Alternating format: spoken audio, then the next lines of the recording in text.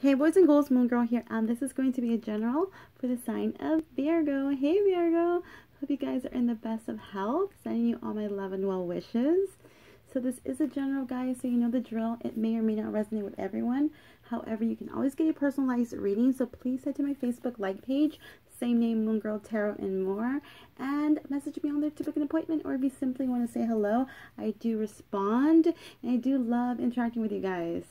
So please do so. And while you're there, feel free to follow and like. I would so appreciate your support. And as always, thank you so much for supporting my channel by subscribing, liking, commenting, and sharing. I do very comment, I do respond, so thank you, thank you. And if y'all would like to bless my channel, you can through Facebook Pay or Cash App, Moongirl1111. So off the bat, guys, you had the best fucking reading out of all the signs, all the damn signs. This is like really, really good reading. So, anyways, I'm just going to like jump right in. Um, we got the moon here. Great card. So the moon being here and it being um, in its position, I do, this is a good omen, okay? And uh, it predicts a great fortune, okay? And, and good luck.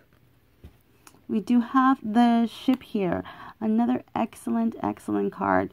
Uh, with the ship here, um, this can mean voyage. So maybe once we're able to move, uh, you might be planning on taking a trip somewhere. Um, or it doesn't necessarily have to be somewhere far away. Of course, it can be. This is movement of any kind. Maybe even thinking about actually moving elsewhere. Um, or this could even be, you know, taking a trip, business trip, any type of trip here. Um, it also indicates um, a symbol of riches and uh, wealth. This could be inheritance or by trade or something you do here that's going to bring you um, good luck, money, maybe even fame. Then we do have um, the Bride. And this is, again, another really good card, especially for those of you who are single. This is uh, indicating that you are going to be su successful in any of your endeavors, all right? And then we have the dog here, another great card. Uh, this is you having a loyalty from close friends or a spouse, um, especially if this is somebody new coming towards you, somebody you've recently started talking to, whether it be friendship wise or maybe someone you're dating or wanting to date. I feel like this is going to be somebody very loyal in your life and might be in your life for quite a while. Um, it could start off as friendship and develops to a relationship, or it could just be maybe you were thinking of dating this person and it just turns into a, a, a friendship, a loving, longing uh, friendship. But this is definitely someone you can trust with your secrets, a confidant. Um, I do see this person being your life for quite a while, okay, guys? Uh, and again, uh, loyalty. The dog means loyalty. Then we have the key here with the key. Again, another good card, success. So you will have success in something. Um, anything you're trying to get off the ground here. Then we have the pig, another excellent, excellent card. This is probably the best or one of the best cards in the whole deck besides the sun.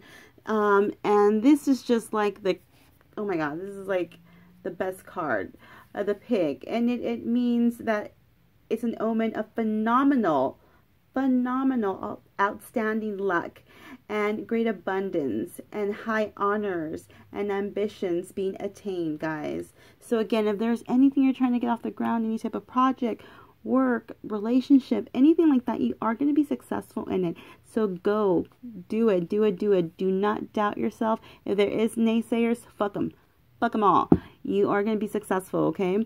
And then we have the tree, good health fulfillment of high hopes. I mean, come on, what else do you fucking want? This is amazing, guys. Then we have the bear.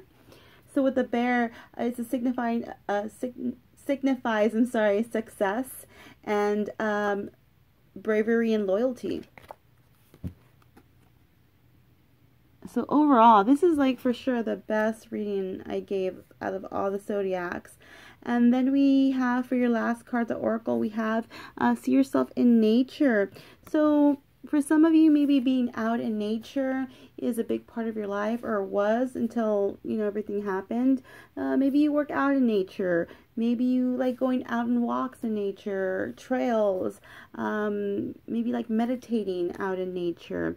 And if this is not the case, then Spirit's guiding you to do more of that. Really try to meditate. Uh, and Virgos, you do tend to have a temper. Um, and I do feel like meditation and being out in nature will definitely kind of help subside that. Um, so, yeah, some of you also might need to be grounded.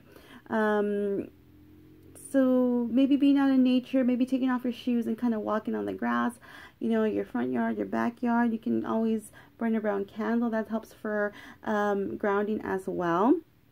And and maybe you might have some kind of success or do something or work or something like that out in nature or be outside or outdoorsy or something like that okay um, maybe you're working you're doing a project outside as well i see you being very hands-on with stuff so this is what I have for you guys. I hope this reading was at least of some help. If it was, please make sure to give it a thumbs up. I so would appreciate that. And damn, I wish this would have been my damn reading.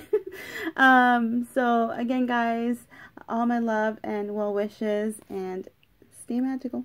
Bye, Virgo.